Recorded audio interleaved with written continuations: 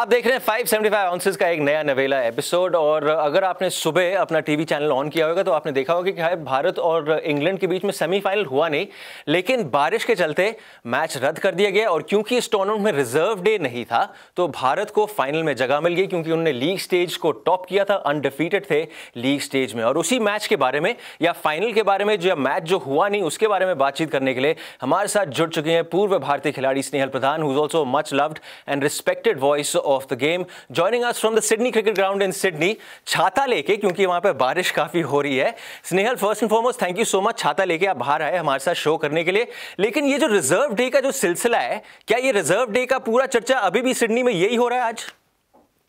Of course सबके मन में यही है कि could this situation have been avoided और मगर फैक्ट ये है कि रिज़र्व डे नहीं है। इस चीज़ के लिए सब मेंबर बोर्ड्स ने अग्री किया था। इनफैक्ट आने वाला T twenty World Cup men's का जो है अक्टूबर में उसी टूर्नामेंट के लिए भी रिज़र्व डे नहीं है। सो so, जो प्लेइंग कंडीशंस यहाँ है वो बाकी टी ट्वेंटी वर्ल्ड कप के साथ कंसिस्टेंट है। हालाँकि ओडीआई वर्ल्ड कप में हमने रिज़र्व डे देखा था। बस नेहल कहीं ना कहीं आई थिंक आईसीसी वाले कह रहे होंगे बारिश जनाब हमने आपका क्या बिगाड़ा है? आप पहले 50 ओवर वर्ल्ड कप में आ गए अब आप वर्ल्ड टी में भी हमारे सामने आ गए। बिल्कुल मगर आप अगर इंग्लिश समर जो सिर्फ़ कहने के लिए समर है और Australian end of the summer में आप टूर्नामेंट स्केड्यूल करोगे तो इस चीज़ को आपको एंटिसिपेट करना ही होगा। हर मैं यहाँ के लोकल से बात कर रही हूँ और वो कह रहे हैं कि फेब्रुवरी मार्च में तो बारिश होती ही है। In fact Big Bash final भी uh, बारिश की वजह से it was threatened but finally they got a game in आशा यही है कि यहाँ पे भी कुछ ऐसी ही हालत हो। They have a good couple of hours still before they can call off the game ground अच्छा सा ड्रेन होता है, मगर I think this tournament will be a learning for the world body और इस टूर्नामेंट के बाद, इस साल के बाद हम कोई भी आईसीसी टूर्नामेंट में नॉकआउट्स के लिए रिज़र्व डे नहीं है, ऐसा नहीं देखेंगे। स्नेहल, मैं एक्चुअली एक आर्टिकल पढ़ रहा था कि सेमीफाइनल से पहले क्रिकेट ऑस्ट्रेलिया के जो चीफ हैं, उन्होंने आईसीसी से दरख्वास्त करी थी कि for the semifinals at least can you accommodate one reserve day और आईसीसी ने बड़ी पोलाइटली उनको मना कर दिया और बोला कि टी ट्वेंटी वर्ल्ड कप जो है it's a short and snappy event अब जब मैंने वो पढ़ा, मैंने कहा, यार, एक दिन बढ़ने से how does short and snappy become long and drabby I didn't get that that is the logic which is difficult for every one to understand मगर फैक्ट ये है कि आप इस स्टेज पे uh, एक दिन ज़्यादा बढ़ा नहीं सकते हो। अगर आपको जो भी करना था टूर्नामेंट से पहले करना बहुत ज़रूरी था uh, इस स्टेज पे आई थिंक होस्ट जो लोकल ऑर्गेनाइजिंग कमेटी के मेंबर है of course Cricket Australia are the driving force along with the ICC behind this tournament वो उस टीम में से सब लोग ऑलमोस्ट पछता रहे होंगे कि हमने जब साइन किया इन प्लेइंग कंडीशंस पे एज अ मेंबर बोर्ड तब इन चीज़ों पे ध्यान क्यों नहीं दिया? इस रिज़ल्ट के बारे में क्यों नहीं सोचा? बस nail just a word so we guess follow football very closely as well on our channel and Indian football women's football को भी काफ़ी करीबी से हम लोग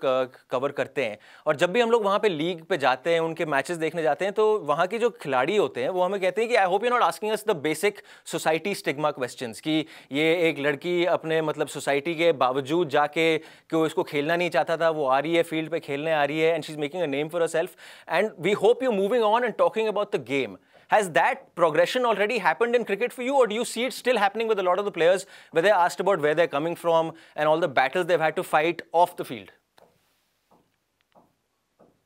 अभी तक ऐसे सवाल पूछे जाते हैं और पूछे जाने चाहिए क्योंकि अभी हालात और रियलिटी यही है इंडिया में कि uh, कुछ प्लेयर्स ऐसे हैं जो यहाँ पे पहुँचते हैं क्योंकि उनको बहुत बढ़िया सपोर्ट मिलता है घर से उनके खानदान से उनके सोसाइटी से मगर बहुत सारी बहुत सारी टैलेंट ऐसी है जो मैदान तक पहुँचती भी नहीं है क्योंकि इंडियन सोसाइटी वुमेन को इतने इतना आ, बहुत स्टीरियोटाइपिक बहुत टाइपास करते हैं कि औरतों ने ये करना चाहिए ये नहीं करना चाहिए ये एक रियलिटी है इसलिए अभी तक ये सवाल पूछे जाते हैं पूछे जाने चाहिए मगर एक चेंज भी हम देख रहे हैं कि सब लोग अभी हरमनप्रीत की स्टोरी नहीं हरमनप्रीत के बैटिंग के बारे में पूछते हैं हम्म। तो जो पुराने प्लेयर्स है जो एस्टेब्लिश प्लेयर्स है उनके बारे में जानना चाहते हैं टेक्निक और उनके गेम के हिसाब से और जो नए प्लेयर्स आए हैं, जैसे शफाली वर्मा, उसके वजह से रोहतक में काफ़ी लोग वुमेन्स क्रिकेट को पहली बार फॉलो कर रहे हैं। And that's a big thing for a small town in Haryana so इन चीज़ों को लेके आई सपोज़ ये रियलिटी अभी तक यही है कि society has a lot of changing to do but it is changing overall from an Indian perspective Snehal हम अपने पहले वर्ल्ड टी ट्वेंटी के फाइनल में पहुँच चुके हैं। चाहे हम सेमीफाइनल में हमने एक भी गेंद नहीं डाली है तो माहौल क्या है वहाँ पे सिडनी में? कि क्योंकि फैंस तो वहाँ पे थे हालाँकि स्टेडियम में नहीं थे लेकिन बाहर मैंने देखा काफ़ी डांस होता है। भारत आर्मी के लोग तो बढ़ चढ़ के वहाँ पे आए हुए थे। माहौल तो जश्न का ही है क्योंकि इंडियन टीम जहाँ भी जाती है भले बारिश की वजह से आप आप सीट्स खाली देखते होंगे पर जो पीछे के फ़ूड एरियाज़ है, जो कवर्ड एरियाज़ है ना, वहाँ पे बहुत सारे फैंस थे। काफ़ी जश्न मना रहे थे। जैसे ही अनाउंस अनाउंस हुआ कि India is getting to their first T twenty World Cup final in history और इट्स एन अमेजिंग अचीवमेंट क्योंकि जब इंडियन टीम इस दौरे के लिए पहुँची, यहाँ पे ट्राई सीरीज़ से पहले एक वार्म अप मैच खेले थे ऑस्ट्रेलिया ए गवर्नर जनरल्स के खिलाफ और वो मैच हारे थे। तो आप एक सेकंड स्ट्रिंग टीम के साथ हारने के बाद आप पहुँच गए हो आपके first T twenty World Cup final में that is something worth celebrating and the fans here and back home celebrating. Snehal, a word on the team. You've been following them uh, since your time in Australia. Uh, हालाँकि आप uh, कह सकते हैं कि जो आपके superstar खिलाड़ी हैं चाहे वो स्मृति मंधाना हो हरमनप्रीत कौर हो उनका बल्ला नहीं चला है और उनके बल्ले के बल, uh, नहीं चलने के बावजूद आप फाइनल में पहुँच चुके हैं ये एक काबिल तारीफ़ चीज़ है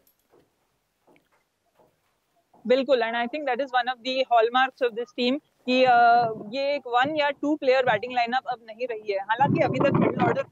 वो आप कंडीशंस देख सकते हैं। जी मैं देख सकता हूँ और आप काफ़ी लड़ाई कर रहे हैं उन कंडीशंस में। Thank you so much for that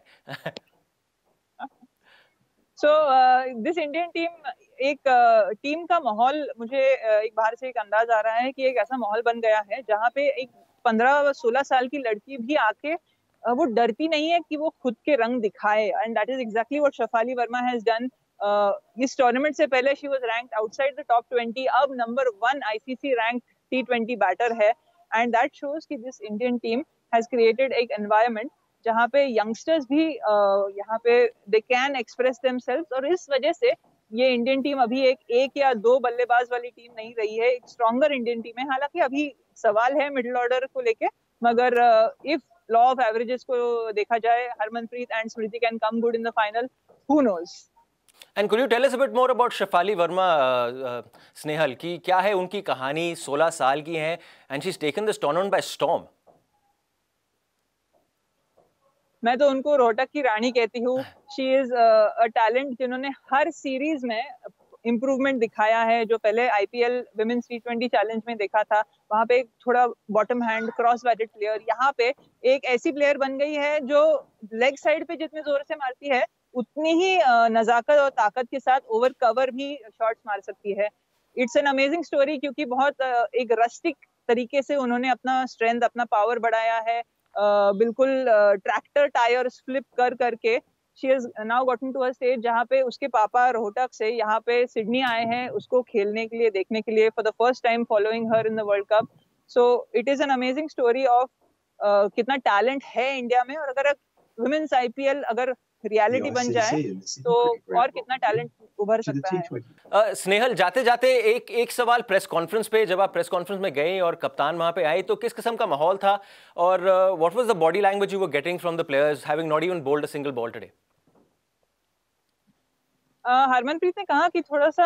एक अजीब सा फीलिंग है कि आप फाइनल खेल रहे हो, मगर बिना जीते, वैसे देखा जाए तो फाइनल खेल रहे हो। और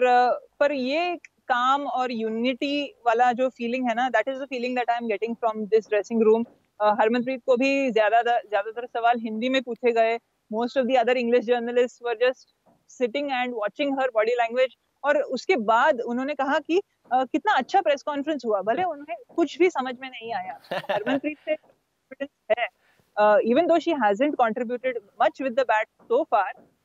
उनका captaincy contribution in using only five bowlers managing all through the tournament with excellent field placing और एनवायरमेंट ऐसा बनाए बनाया है जहाँ पे younger players can come in and do well I think एक कॉन्फिडेंट कैप्टन हमें नज़र आ रही थी और वो आगे जाके अपने जन्मदिन पे खेलेगी वर्ल्ड कप फाइनल क्योंकि she is born on International Women's Day so hopefully she has a very happy birthday on this coming Sunday Snehal जाते जाते आप एक पंट तो दे दो. Who you backing for the final India all the way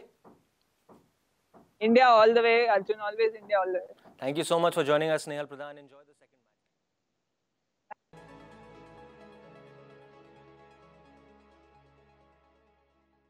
match